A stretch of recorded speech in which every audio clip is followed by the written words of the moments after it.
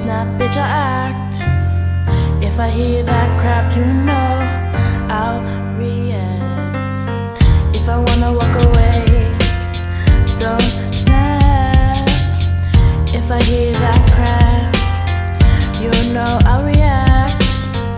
If I hear that crap, you know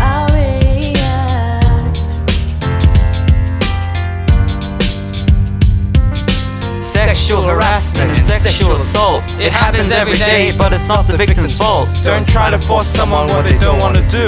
If you really think that way, then you're gonna get sued. Relationships aren't about power and control. Should be two people connected with the soul. God didn't make us to be violent. If you see something, don't be silent. Don't fall for his looks, he may be charming. Deep inside, he might be harming. Men and women should be treated the same. Punching a woman will shame your name. Be an active bystander starting from today. Stand up for the girl who's too scared to say. Don't you know, violence ain't the goal. Don't you understand, I already said no.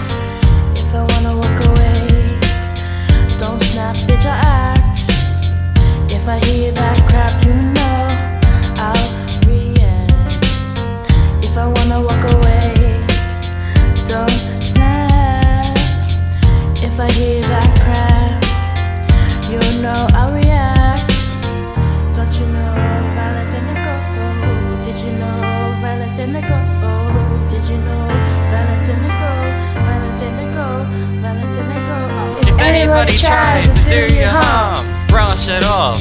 Keep it calm. If he hits you with his palm, just throw him back to the farm. Yo, don't you realize that violence is a choice?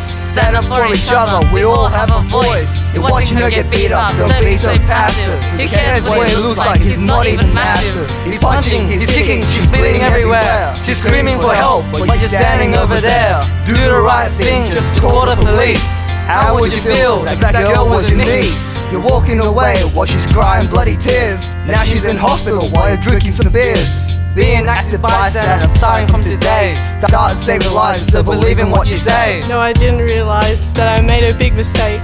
People telling me that he was just so fake. I saw him every hour, every day, every night. He would show up to my work, which gave me a fright.